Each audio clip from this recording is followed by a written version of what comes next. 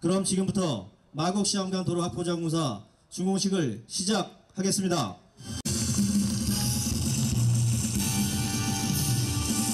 2007년부터 본격적인 공사에 착수한 후 2020년 6월 23일 오늘 도로공사를 준공하게 되었습니다.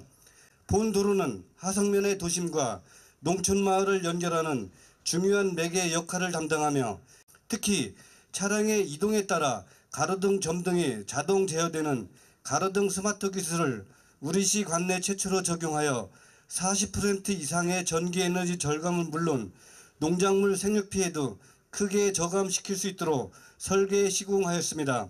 오늘 마곡 시암간 확포전 공사 준공식 진심으로 축하드리고요. 더운 날씨에 우리 주민 여러분들 건강 늘 챙기시면서 아, 건강한 여름 나- 나시기를 바라겠습니다.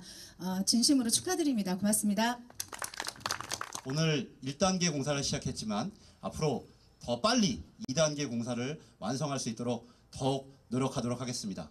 다음은 김포시 발전을 위해 불철주야 노력하시는 정하영 김포시장님께서 기념사를 하시겠습니다. 11년의 시간이 흘렀습니다. 이곳을 지날 때마다 참 공사판이 언제 정리될까 그렇게 아, 지켜만 봤었는데 또 예산도 적지 않았어요. 340억 원의 예산이 투입돼서 250억 원의 그 보상비 또 100여 원에 가까운 또 공사비 이런 것들이 시민 여러분들과 함께 화성 면민 여러분들과 함께 이렇게 멀쩡한 도로를 아, 만들어 냈습니다.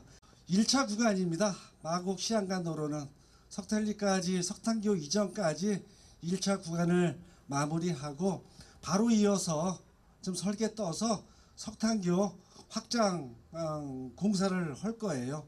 그리고 내년부터 석탄리서부터 시암리까지 2차 구간의 계획들을 아, 세워 나가도록 하겠습니다.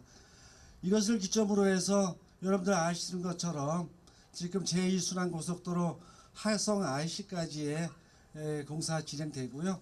예, 전류리서부터 원산리까지 그 12호선에 대한 도로 확장에 대한 부분들 어, 여러 등등이 하성면 중심으로 이루어질 것이고요. 교류 협력의 거점 도시로 하성면이 자리매김할 수 있도록 저희들 많은 노력할 것이고요.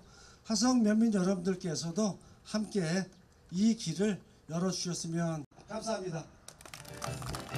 네, 다시 한번 시장께 큰 박수 부탁드리겠습니다.